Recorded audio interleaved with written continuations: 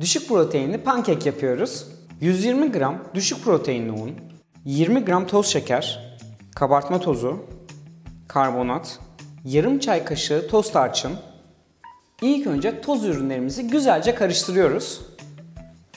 Böylelikle ürünler güzelce harmanlanacak. Şimdi sıvılarımızı ilave ediyoruz. 150 ml sıfır proteinli süt,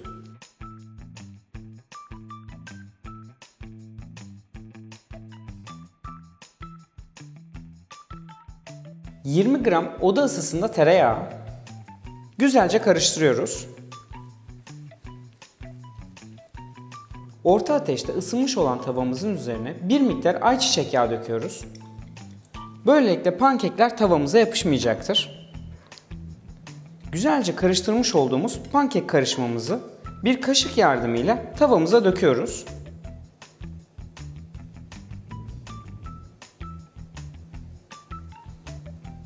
İki tarafında güzelce kısık ateşte pişiriyoruz. Pankekleri kısık ateşte pişirirken mümkün olduğunca ellemeden pişirmeniz lazım. Aksi halde dağılacaktır. Pankeklerimi ters çeviriyorum.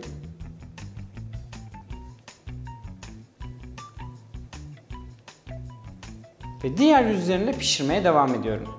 Düşük proteinli pankeklerimiz pişti. Bir miktar çilekle ve akçaağaç şurubuyla servis ediyoruz.